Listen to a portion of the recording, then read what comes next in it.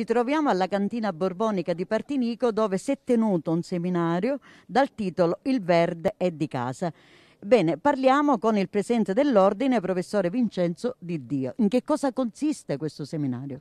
Allora, il seminario affronta i temi dell'ecobonus e del sisma bonus, meccanismi eh, messi in piedi dallo Stato per garantire miglioramento dal punto di vista sia sismico che energetico della qualità del nostro costruito.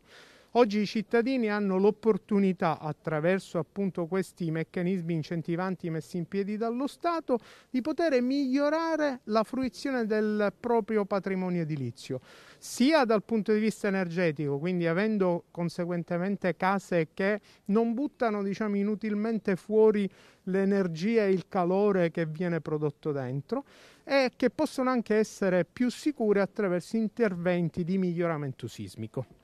Chi può accedere e come?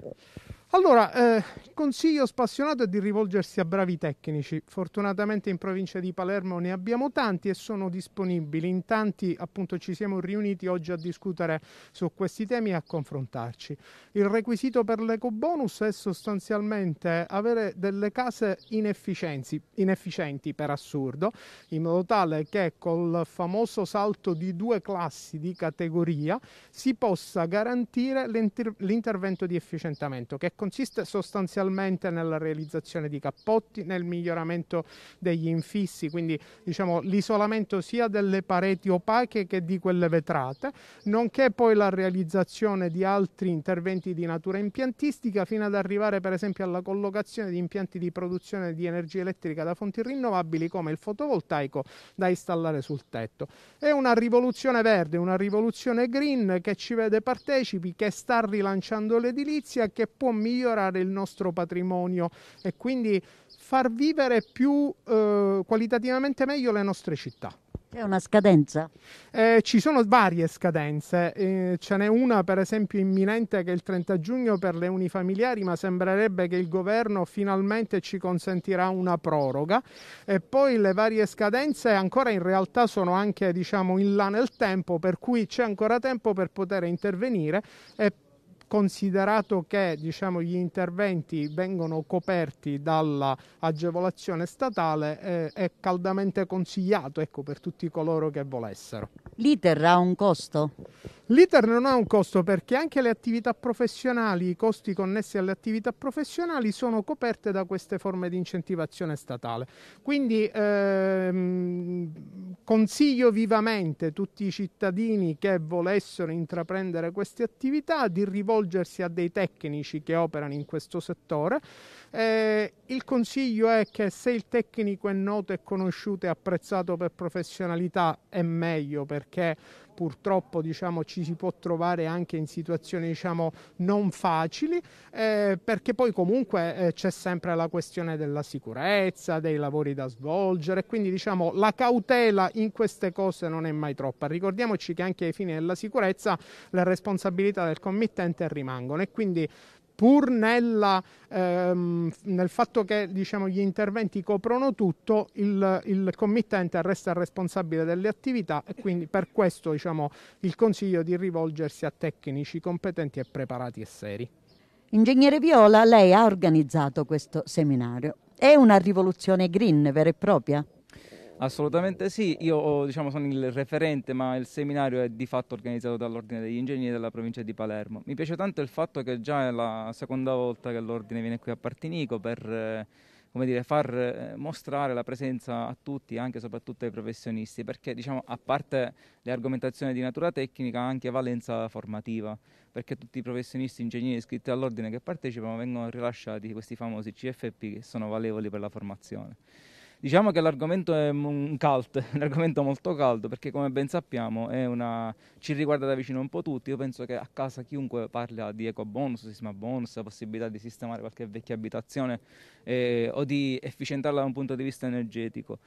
E un'altra cosa importante soprattutto è che abbiamo visto una rinascita della, anche dell'edilizia, cioè noi giriamo per il paese, giriamo per le città, ci rendiamo conto di quanti cantieri fondamentalmente adesso sono tornati a, ad essere presenti perché di fatto l'edilizia era un po', un po' morta negli ultimi anni. Quindi diciamo, si, sicuramente ha avuto una conseguenza positiva sia per l'economia ma anche appunto per la, come dicevi tu giustamente, per l'efficienza energetica dell'abitazione.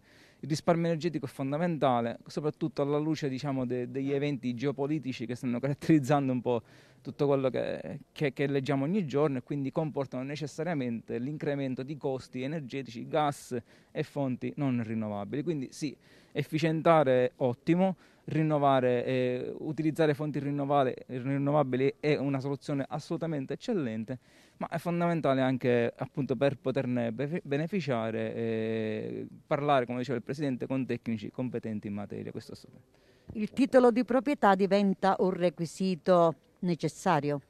Assolutamente sì, il titolo di proprietà è fondamentale, soprattutto anche eh, io aggiungerei anche la valutazione della cosiddetta conformità urbanistica dell'immobile. Certo benché comunque attraverso una serie di interventi diciamo, normativi questo aspetto è stato dire, sorvolato, mettiamo così, perché di fatto è stato appunto introdotto anche un titolo specifico per gli interventi che è la CILA Super Bonus. Cioè di fatto prima chi doveva intervenire eh, in un edificio, eh, il tecnico doveva presentare a prescindere per esempio una, una CILA, una comunicazione di inizio lavori asseverata, con la quale doveva asseverare la eh, conformità urbanistica dell'immobile. Quindi mettiamo il caso che voi avevate, non so, una veranda abusiva, un ampliamento non regolare, non regolare il tecnico a prescindere doveva asseverarlo, cosa che ovviamente non poteva fare e quindi la non conformità, a parte essere un abuso, ovviamente è, è dire, un elemento che fa decadere l'incentivo. Con la CILA Super Bonus, la cosiddetta CILAS, questo diciamo, elemento è stato apparentemente superato, perché mettiamola così, nel senso che il tecnico che va a produrre la pratica non deve asseverare la conformità dell'immobile, ma comunque l'abuso rimane. E se è un abuso non sanabile, ricordo, e comunque comporterà, potrebbe ecco, comportare la decadenza del beneficio. Quindi a prescindere io consiglio a chiunque di prima di imbarcarsi di quest- in questa esperienza eh, ecco, eh, valutare la conformità urbanistica, far valutare ecco, la conformità urbanistica dell'immobile a tecnici assolutamente preparati e perché è bene avere ecco, una casa in regola e poter beneficiare di questo incentivo che ripeto è comunque un campo minato per chi ecco, non ha tutte le carte a posto, ecco, mettiamola così. Ci sono delle scadenze differenziate e poi c'è un quantum minimo e massimo?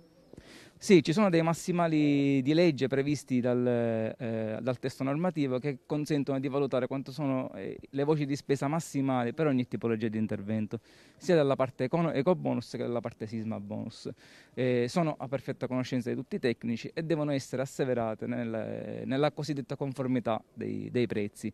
Quindi noi, dobbiamo, noi tecnici ecco, dobbiamo eh, valutare appunto il rispetto dei massimali di spesa a seconda dell'intervento che facciamo. Il fotovoltaico c'è un suo massimale nazionale, storia termico insomma, e così via. Per quanto riguarda le scadenze, come diceva il Presidente, sì, c'è da fare questa differenza tra gli edifici unifamiliari e i condomini.